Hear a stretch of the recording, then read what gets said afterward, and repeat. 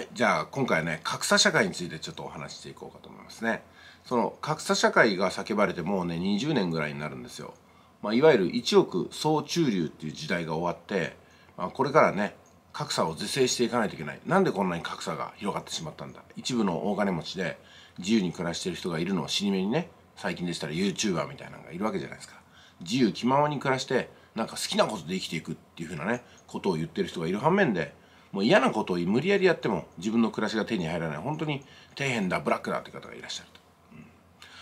まあ、けどこの二極化っていうのに異を唱えるのは妙なことで自由競争とか資本主義経済っていうのはあの結果を出した人に多くの成果が集中して頑張ったかもしれないけども何も残せなかった人には何もあげないよっていう社会を私たちは容認してるってことなんですよね。でもしこの二極化に異を唱える人がもしいるとするんだったらねそれは社会主義経済の支持者ってことになるんですよ。まあ単純にこの二元論では語れないんですけどもみんな平等がいいよねっていう中にはせっかく頑張って努力した人の結果をまあなんていうのかな蝕んでいるっていうことも含まれてるっていうことをね感じないといけないかなと。で私は二極化とかは全然 OK だと思うんですよ。まあ、そもそもその一部のね先天的な疾患がある方を除いてあの与えられる人と与えられない人がいるっていうのはものすごく平等だと思うんですよね。まあ、例えば 100m 走で1番から5番までできるとするじゃないですか。それって不平等なんですかねって。うん、で頑張ってねあの 100m 走で1番になりたい人は練習をしたりね科学的な見地を吸収して情報や知識を吸収したりとかそして人脈を構築して自分のトレーニングをしてくれる人を探したりとかあのそういう自由が与えられてるんですよね。お前には一番を取らせないとかね制度で順番をつけてもらえないっていうのはまあ結果平等になるけどもうんそれは人権を蹂躙してることにもつながるんじゃないかなと思うんですよね。でもあえてねその二極化に対してうんなんかこう是正をね求めるとすると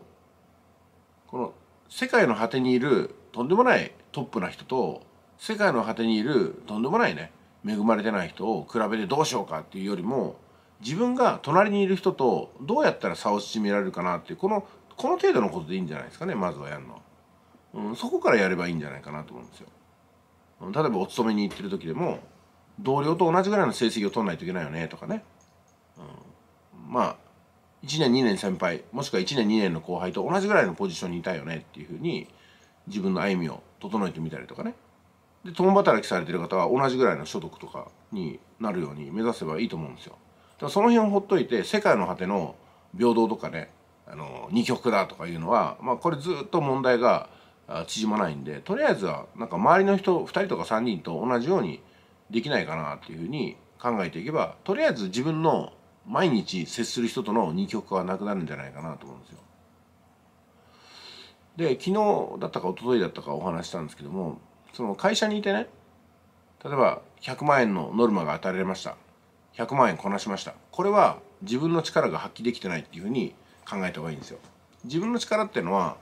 与えられたもの以上のことができた時に初めて発揮されるもんでね100万のノルマが与えられた時に120万130万の売り上げを上げたら20万30万はあなたの力ってことになるわけなんですよ。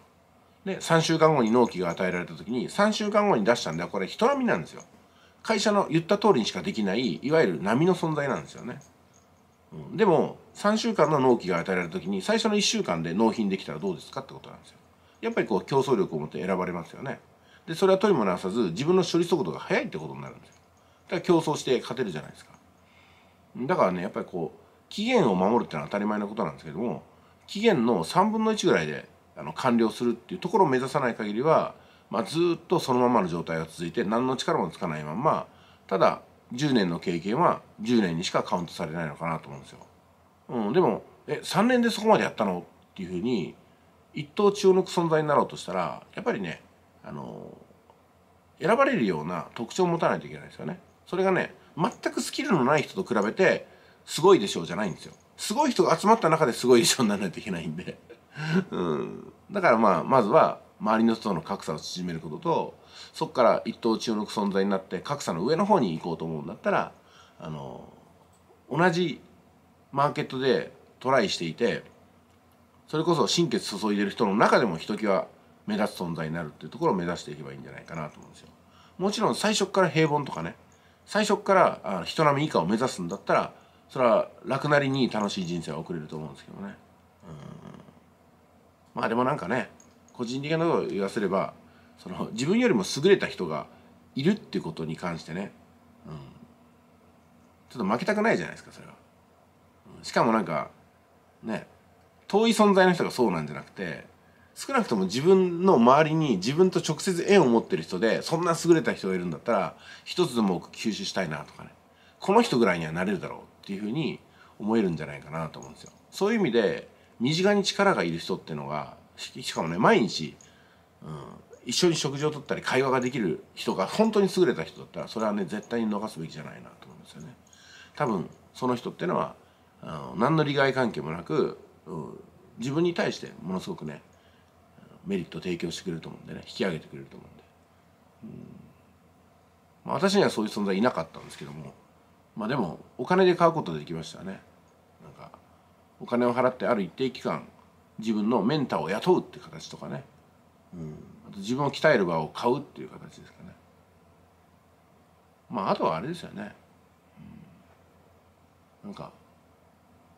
書籍から学ぶってやつですねやっぱりね。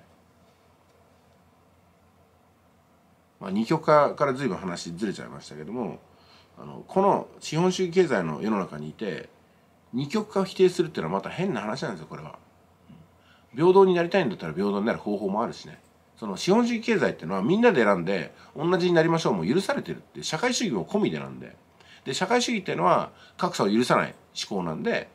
そのこの前もねアリババのジャック・マー氏がね